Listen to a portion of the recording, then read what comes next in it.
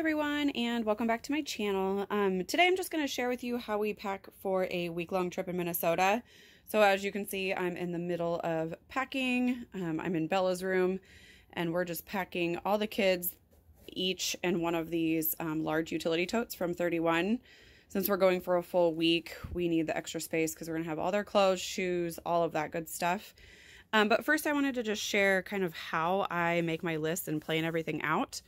So I use a bullet journal and then I have a sheet or sorry, a page that just has like the basics. So we are going with a large group and we have three different cabins. This is who's staying in each cabin. And then I make a list of all the lists. Yes, I know excessive, but that's how I stay a little bit organized.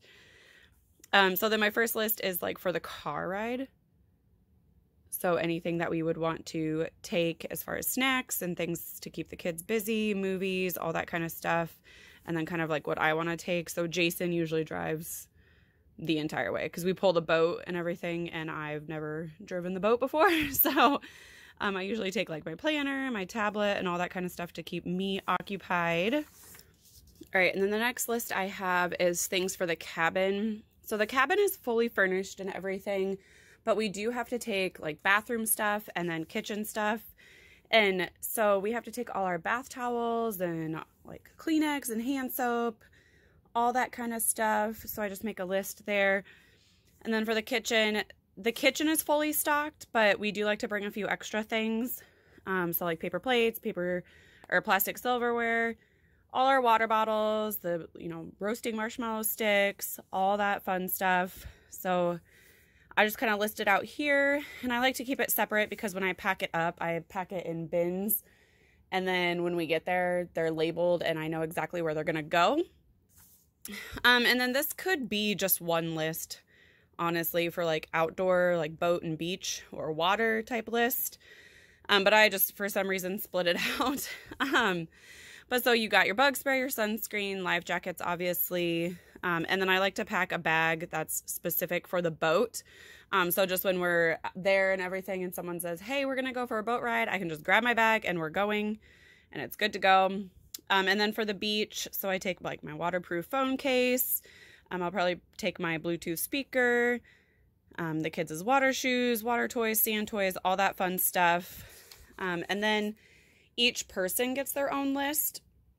So I make my list, Jason's list, and this includes everything. So not just clothes, but like any additional things like chargers, your phone stuff, sunglasses. And then this is just more of like toiletry type stuff. So like your shampoo, conditioner, all that. Then I have basically the same thing for Jason. And then the girls, their list is, I think, identical. Um, but I make them each a list so that when I'm packing each kid, I can cross them off but it has like all their clothes and then again all their toiletry stuff and then miscellaneous things. Like they want to take their dolls some books their headphones they want to take their leapfrog. Most of that stuff's for the car ride because we'll be pretty busy when we're at the lake. And then barrett has his own little list. Um, i haven't put in his things yet as far as his leapfrog and some cars and trucks and things like that.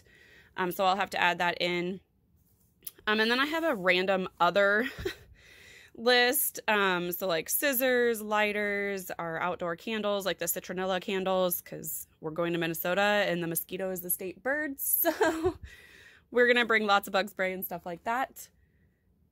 Um, and then like glow sticks, bubbles, craft stuff if we have a rainy day, things like that. And then I made a separate list for food and drink. But for our dinners, so each family is in charge of two dinners while we're there, and then breakfast and lunch we do on our own. Um, so that kind of makes it a little easier. You don't have to plan six dinners because we're there for six nights, that kind of thing. So what we do every year is our dinner is the fish fry. Um, so all the guys and all the basically all the adults go fishing. The kids go too, but the adults catch the most fish. And then we have a fish fry, and so we bring everything to do that. Jason has a big fryer for that. Um, and then any sides that we want to do with the dinner. Um, and then this is kind of meal planning for the week. Obviously not all filled in, but that's okay. Um, I didn't put my Walmart list in here because I wanted to be able to take it to the store easily. So let me show you that.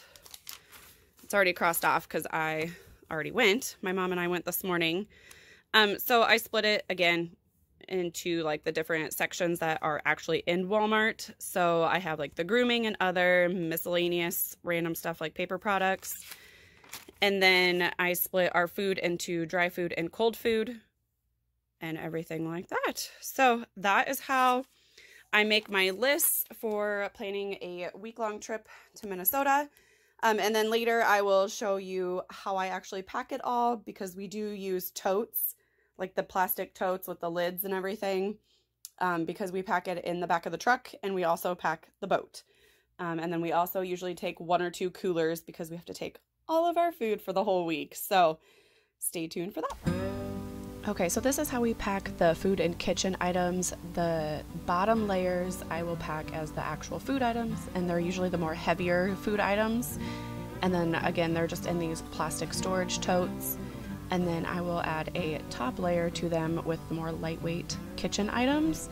That way things don't get smashed or anything in the way to the lake and all that stuff.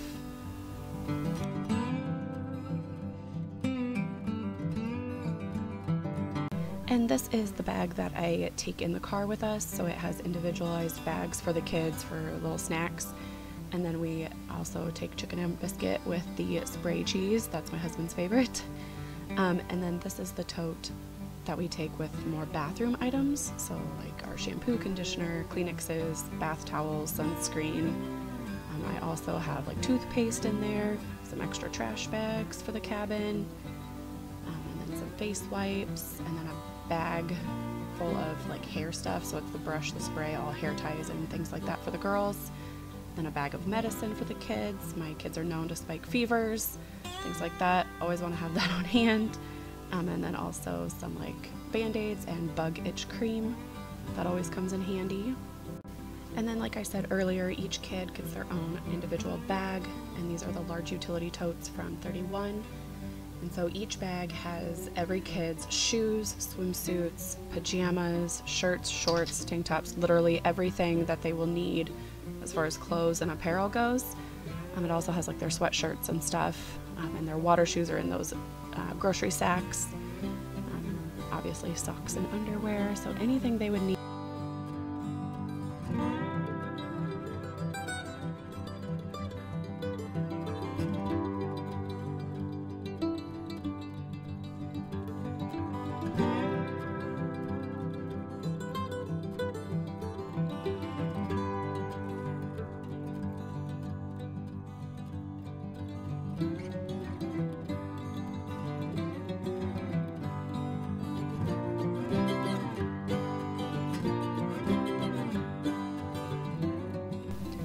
This is what Brooklyn's bag looks like with the lid on. Um, again, it's just a clear top lid, and that just keep, helps keep things clean and dry. And then this is Barrett's bag. And again, he has all of his clothes that he will need pajamas, shirts, pants, everything, shoes, um, some packages of wipes since he is still in diapers. And then those are the nighttime diapers that he wears. Um, they're just better for the nighttime because they absorb more throughout the night. Um, so yeah, that has all of his stuff. And then I did put a whole pack of diapers in there. Um, I'd much rather overpack on diapers. Um, I'd hate to run out when we're in the middle of nowhere in Minnesota. Um, and then this is what his looks like with the lid on it. So then we also packed bags for the kids for the car ride. So they, the girls brought their dolls and some of the accessories for their dolls in these little mini backpacks. And that's Bella's doll, and then this is Bella's backpack with her leapfrog and her kid phone, chargers, earbuds, and then some like LOL dolls or Hatchimals, just some toys and stuff to keep them entertained in the car ride. It was about a 10 hour car ride with all our stops and everything, so it's quite a while for little kids to stay entertained, but then threw some coloring books in there and a little dry erase board and then Brooklyn's backpack and her doll and everything. Kind of the same stuff that Bella had, just a little bit different. Um, she got some Hatchimals and LOL dolls in there as well. And these little backpacks are really nice. Um, we got them for the girls for their birthdays um, just at Walmart. Um, and then Brooklyn's Leapfrog, her little camera. And then she also has some doll accessories and everything in there. And then she also has her notebook, coloring book, her little dry erase board. Um, those dry erase boards are pretty awesome in the car. Um, just they really do a good job of keeping them entertained. I'm pretty sure you can get them at the Dollar Tree. We got ours at Walmart. And then this is Barrett's backpack. He doesn't have a doll or anything, so he has less stuff than what the girls had, but he's got his leapfrog and some headphones. He's got his Thor and Hulk. He's also got a bag of trucks and everything, which he ended up using quite a bit in the sand at the lake. Um, and then he's got a coloring book and his little dry erase board and his notebook as well. And that was everything for this video. I hope you guys enjoyed it. If you did, please give it a thumbs up and consider subscribing before you go. And we'll catch you in the next one. Bye, guys.